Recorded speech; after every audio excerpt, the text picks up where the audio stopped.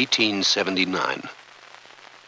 The beginning of radio, television, the washer, dryer, toaster. The beginning of the X-ray tube, the nuclear power plant. This is America's most prolific inventor, the young Thomas Edison, inventing the first practical light bulb. The beginning of General Electric. Edison remained active for over half a century after that first bulb. He knew and worked with many famous General Electric scientists and engineers. Here is Thomas Edison, portrayed by the distinguished actor Pat Hingle, as he reminisces in 1928 about his work and the work of other GE people. Some people have called the light bulb my greatest invention. I'd have to disagree. It wasn't the light bulb or the phonograph or the motion picture. I think my greatest invention was the commercial research lab, a place where I could develop all kinds of inventions. I built the very first commercial research lab in the world in Menlo Park, New Jersey in 1876. You could say that was the start of the General Electric Company. Of course, I didn't know it at the time. At Menlo Park, we had as many as 44 different inventions underway at the same time. Sometimes you couldn't hear yourself think. Of course, in my case, that didn't really matter. I've been deaf since I was 12 years old. It was my goal to turn out a minor invention every 10 days and a big thing every six months or so. Two of my big things were the light bulb and the power plant. They had to be developed at the same time because I had no hope of selling the light bulb if there was no electricity. And I had no hope of selling electricity unless there was a light bulb. The company I set up to sell the light bulb was called the Edison Electric Light Company. Later, that turned into the General Electric Company. Uh, how did I get into the whole inventing business anyway? Quite frankly, I saw it as a way to make some money. When I was a newsboy, I learned that money can be made out of a little careful thought. And being poor, I already knew that money was a valuable thing. I think boys who don't know that are under a disadvantage greater than deafness.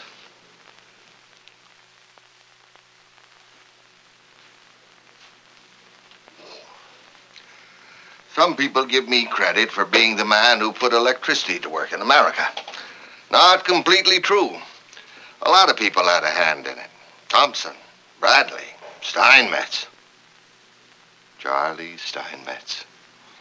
Queer-looking duck, not even five foot tall, with an enormous head, and inside that head was an enormous brain. And Charlie had a heart even bigger than his brain. Shortly after he arrived in this country, Steinmetz came to work for us at General Electric. Those were exciting times at GE, the beginning of the age of electricity. Some of the top scientists and engineers in the country were there. Ideas were bouncing around like marbles. Steinmetz started working with alternating current, the type of electricity we all use today. I thought it was a fool idea. I favored direct current. Of course, that couldn't be transmitted more than two miles, but I didn't see that as any real problem. That was the biggest blunder of my life. If people had listened to me then, we'd have power plants all over the country, every two miles. Well, Charlie kept on working at it, kept on calculating. The big test came at Niagara Falls in 1894.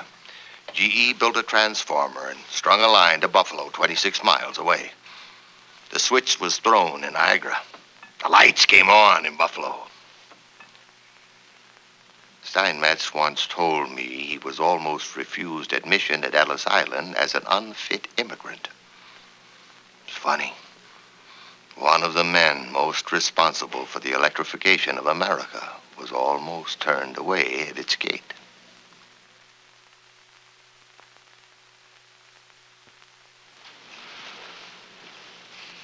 It was Christmas Eve, 1906, the night one man startled all the ships at sea. Ernst Alexanderson. Those were the early days of radio. Radio in those days was used mostly for sending Morse code messages short distances. Radio intrigued Alexanderson. He'd been working with it since shortly after joining us at General Electric. Alexanderson developed the equipment that made it possible to send a voice signal. A signal that would leap the ocean all the way to Europe. Well, you can imagine how surprised all those radio operators at sea were, just sitting there listening to tut tut tut dash dash, when all of a sudden a voice comes booming through the earphones. The human voice on radio for the first time ever. Alexanderson was involved in every step of radio from then on. Now he's involved with broadcasting pictures, an idea called television. He's made the first television broadcast ever. It's interesting. The same man was involved in the world's first radio broadcast and the first television broadcast.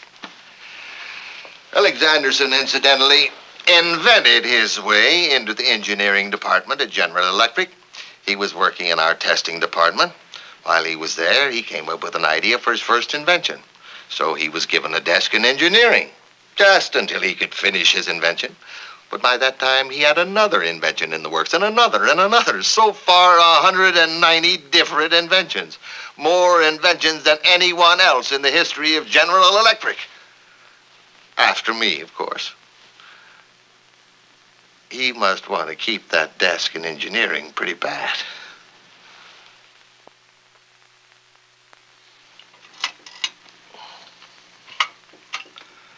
When I developed that first light bulb in 1879, it was hailed as a miracle.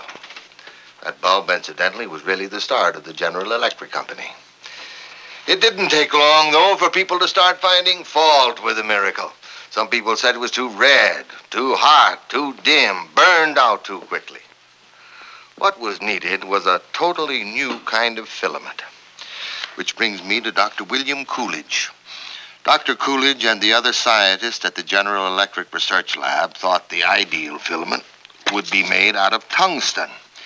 But tungsten was a metal more brittle than dry bone, more fragile than an eggshell. It couldn't be bent, couldn't be shaped. How then could it be turned into wire? Will Coolidge didn't know much about metallurgy, but he wanted to give it a try. Coolidge was a young man at the time.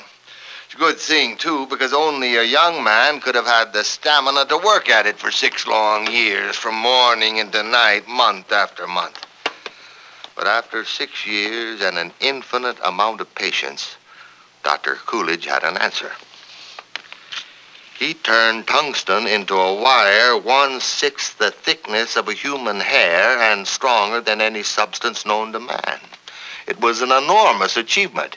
It's as if he'd taken flour and turned it into a wire stronger than a steel cable. By 1914, that wire was saving people more than $200 million a year in electricity costs. When Dr. Coolidge showed me that first piece of tungsten wire in the lab, he told me if he had known anything about metallurgy, he never could have come up with an answer because he would have known it couldn't be done.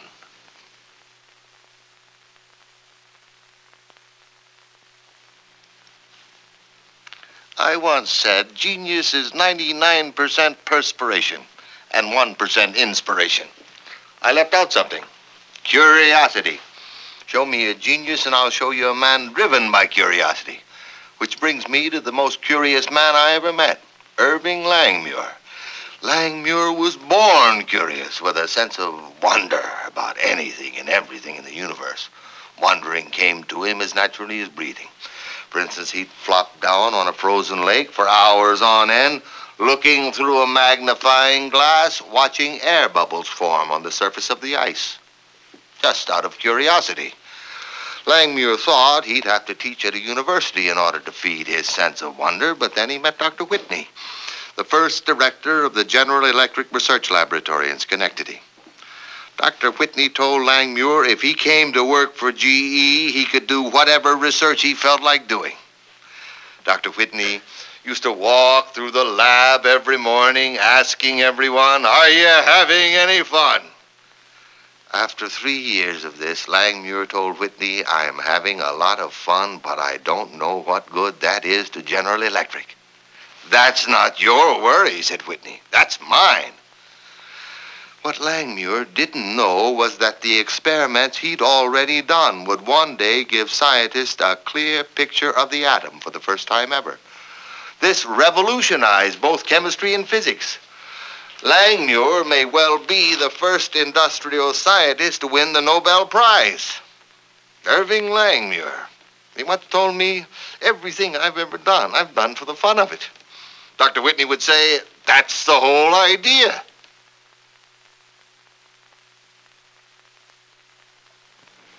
Some people have called my generation the generation of genius. In just the 50 years between 1875 and 1925, we developed the telephone, the electric light, the radio, the automobile, the airplane, motion pictures, the x-ray. It's surprising how many of these things General Electric and I have been involved in. Now people are saying there's nothing left to be discovered. There won't be any more big inventions. That's nonsense. No generation has any monopoly on genius. Every generation will have its Steinmetzes, Alexandersons, Langmuirs, maybe even an Edison. There are still problems to be solved. The oil and gas we have won't last forever. We're going to have to find a new source of energy. Langmuir thinks the atom may be the answer. Or take the airplane. It doesn't fly far enough or fast enough. We ought to be able to develop a plane that can go from coast to coast in hours. Uh, Will Coolidge has already put electricity to work in hospitals with his x-ray, but I think this is just the beginning of what electricity can do in medicine. Many of these things they're working on right now at the General Electric Research Lab in Schenectady. I expect GE will keep on hiring the best people they can find and keep giving them their heads. And they're going to keep coming up with the answers. I have no pessimism about the future. As a friend of mine says, I object to people running down the future. I'm going to live all the rest of my life there. Today, General Electric is continuing to use science and technology to help